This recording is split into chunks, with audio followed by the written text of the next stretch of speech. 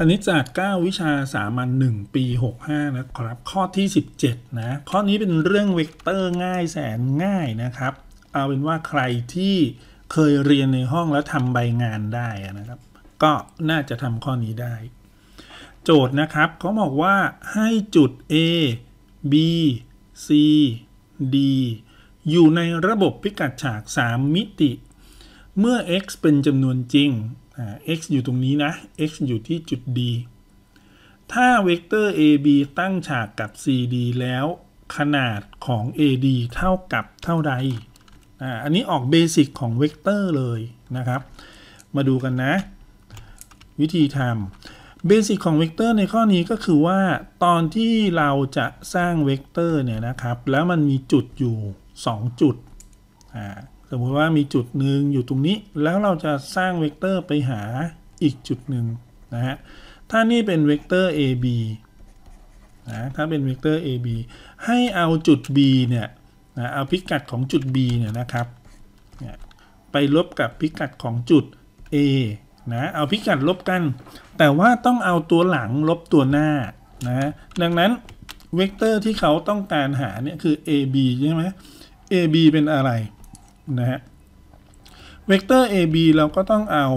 ตำแหน่งของ B เนี่ยไปลบกับตำแหน่งของ A นะครับ ซึ่งตำแหน่งของ B เนี่ยมันคืออะไรฮะ1ลบ1 0 ใช่ไหมอ่าตำแหน่งของ B นะ1ลบ1 0 ตำแหน่งของ A คือ 0 3 2 ใช่ไหมเราก็ต้องเอา1เนี่ยไปลบกับ 0 นะครับ เป็นพิกัดของ x ใช่ไหมหนึ่งลบศูนย์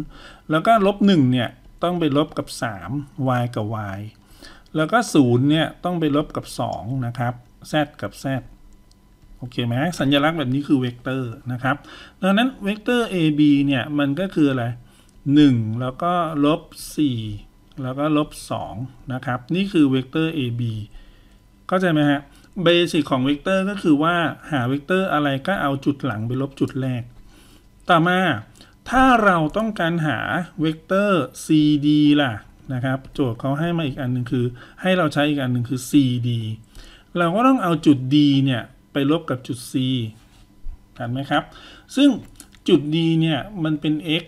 นะครับ เมื่อเอาไปลบกับจุด C ก็คือ x ลบ2ใช่ไหมแล้วก็ 5 ลบ 1 แล้วก็ 1 ลบ 3 นะครับ มันก็เป็น x ลบ2 5ลบ1แล้วก็1ลบ3เราก็จะได้เวกเตอร์ c d นะครับ โดยติดตัว x ไว้ก่อนเรายังไม่ทราบนะครับ5ลบ1ได้ 4 1ลบ3ได้ลบ 2 นี่คือเวกเตอร์ cd โอเคนะ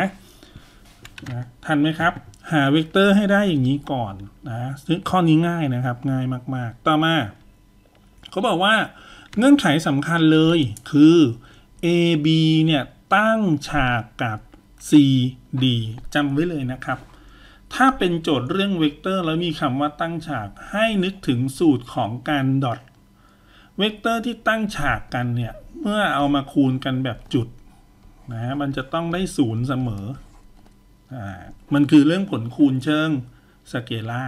นะครับ scalar product นะฮะก็คือถ้าเราเอาเวกเตอร์ 2 ตัว dot กันได้ศูนย์แปลว่าตั้งฉาก ถ้าเวกเตอร์ 2 ตัวตั้งฉากแปลว่า dot กันได้ศูนย์นะครับ เราก็มาสร้างสมการในการดอทนะครับในการคูณแบบจุดนะก็คือเราเอา AB นะกับ CD เนี่ยมาดอทกัน แล้วจับเท่ากับ 0 ซึ่งเวกเตอร์ AB ของเราเนี่ยก็คืออะไรฮะ1ลบ4ลบ2ถูกไหมฮะ แล้วก็เวกเตอร์ CD ของเราก็คือ x ลบ2ติดไว้อย่างนี้แหละนะครับ แล้วก็ 4 แล้วก็ลบ2นะจับเข้าสมการในการคูณแบบจุดนะฮะผลคูณเชิงสเกลาแล้วก็คูณกัน เวลาคูณกันหรือดอทกันเนี่ยนะครับ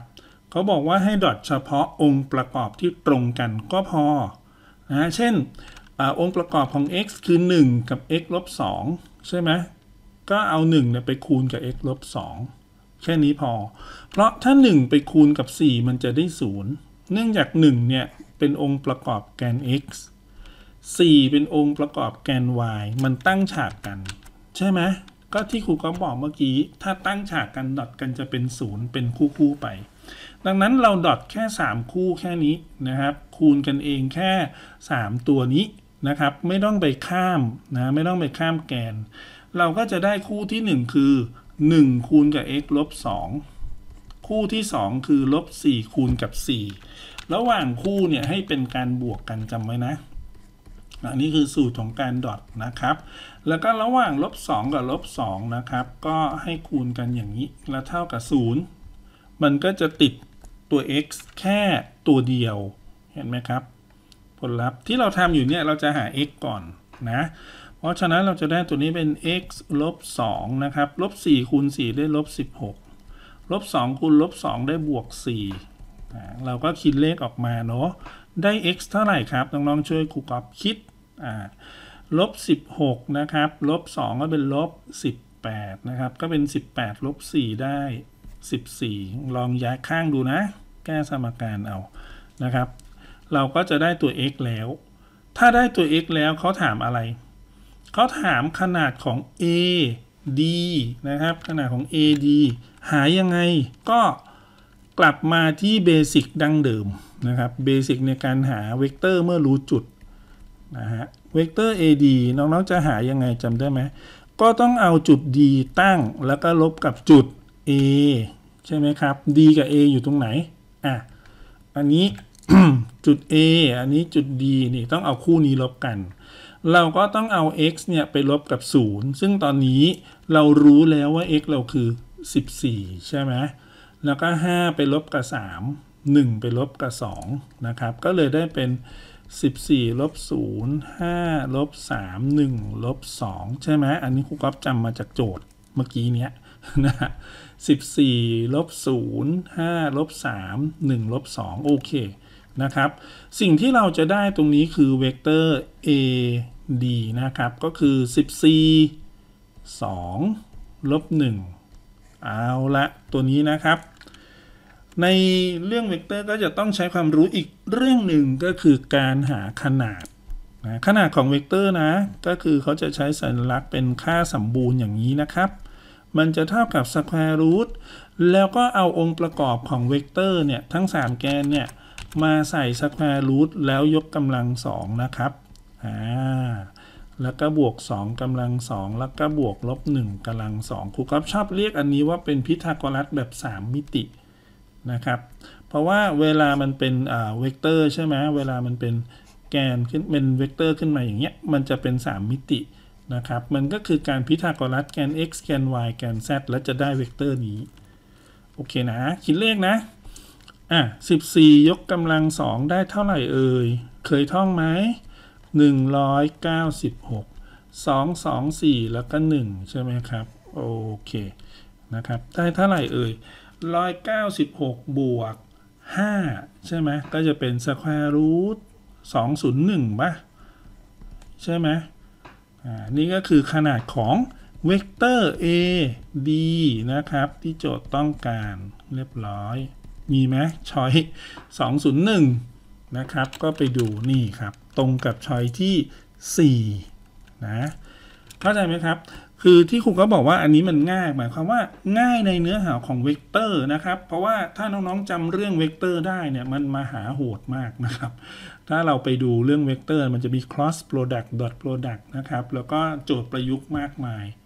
โอเคนะ แต่อันนี้แบบถามตรงๆ ง่าย ๆ เลยเนาะหาเวกเตอร์ AB เวกเตอร์ CD เวกเตอร์ AD หาได้แล้วก็เอามาใส่ค่าสมบูรณ์นะครับ หาขนาดก็จบละอะนี่ดูวิธีทำทั้งหมดมีแค่นี้เองนะครับง่ายกว่าหลาย ๆ ข้อที่ผ่านมาเนาะก็ลองซ้อมทำดูนะครับ แล้วก็ดูเนื้อหาอย่างอื่นของเวกเตอร์เพิ่มเติมไปด้วยนะครับ เพราะส่วนใหญ่เนี่ยจะออกพวก cross product นะฮะที่มันเป็น 3 มิติ ส่วน dot product นี่ออกสม่ำเสมอมากนะ dot ที่บอกว่าตั้งฉากกันแล้วดอทกันได้ศูนย์เนี่ยออกสม่ำเสมอมาก ก็ฝึกเอาไว้นะครับ โอเค นี่คือโจทย์ข้อ 17 ของ 9 วิชาสามัญ1ปี 65 นะครับ ใครมีคำถามอะไรก็คอมเมนต์ฝากไว้นะครับ เดี๋ยวครูกอฟเข้ามาตอบ ขอบคุณทุกคนที่เข้ามาดูนะครับสำหรับข้อนี้จบแล้ว สวัสดีครับ